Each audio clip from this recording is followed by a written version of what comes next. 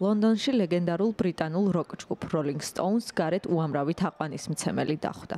18 წლის შემდეგ მათ ახალი ალბომი გამოუშვეს და მისი პრეზენტაცია გამართეს. ალბომში 12 სიმღერა შევიდა, რომელშიც ჯგუფის წევრებთან ერთად მსოფლიოში ცნობილი მომღერლები, მათ შორის სტივი უანდერი და ლედი გაგა მონაწილეობენ. სიმღერები ძირითადად არის სიყვარულზე, ბრასსა და სინანულზე. ალბომში შევიდა ორი სიმღერა, რომელშიც Rolling Stones-ის დრამერი ჩარლი უოტსიც მონაწილეობს. ის 2021 წელს გარდაიცვალა. მას შემდეგ ჩარლი უოტსი დრამერმა სტივ ჯორდანმა შეცვალა. ახალი ალბომის პრეზენტაციასთან ერთად ასევე შედგა მათი მთავარი სიმღერის Angry-ს კლიპის პრეზენტაცია, რომელშიც 25 წლის მსახიობი სიდნი სუინი მონაწილეობს, რომელიც მთავარ როლებს ასრულებს ცნობილ ფილმებში Euphoria-სა და თეთრ ლოტუსში.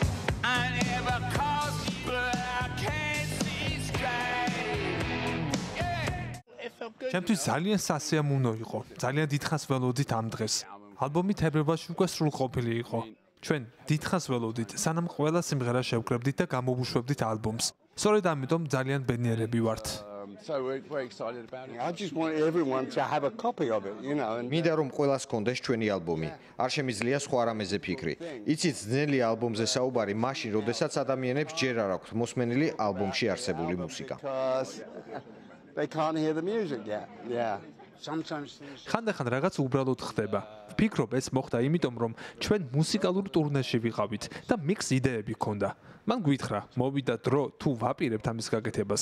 ახლავე უნდა შევუდგეთ საქმეს.